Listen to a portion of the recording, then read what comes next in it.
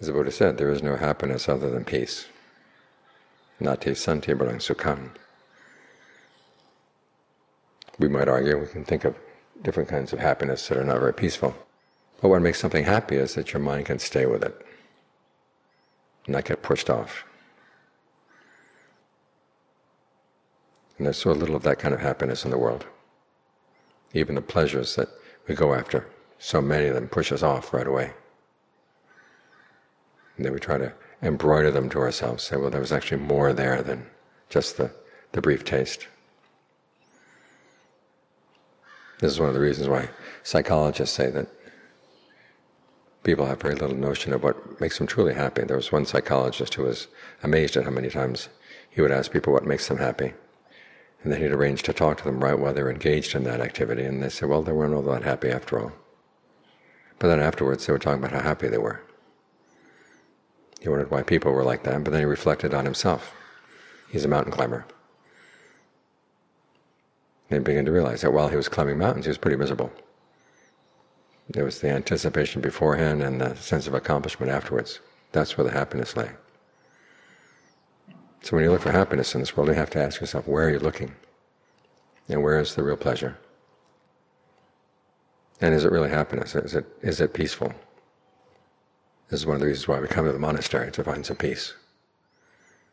Not only to enjoy the peace while we're here, but also to do good. And that thought of doing good, looking for happiness, being virtuous, being generous, meditating. That's a happiness you can take with you. And it doesn't push you off. There's so many pleasures in the world that in order to get them you have to do something unskillful.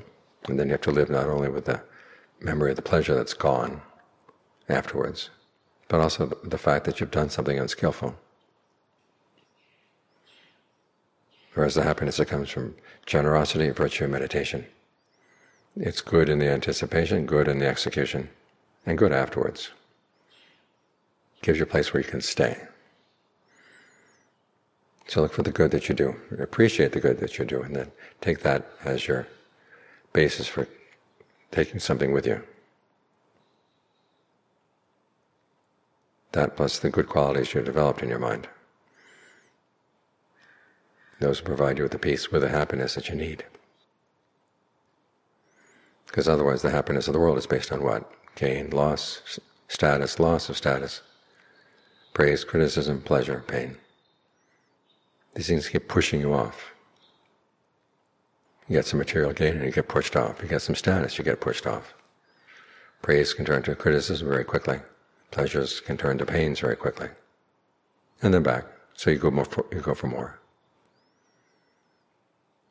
And that kind of pleasure creates disharmony in the world because when someone gains something material, uh, someone else has to lose it.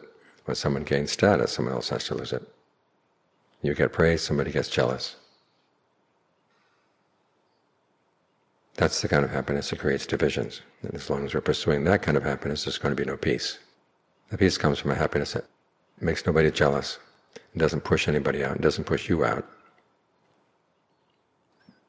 So always keep that thought in mind of the good that you've done in the past, the good you anticipate to do in the future, and the good you're doing right now.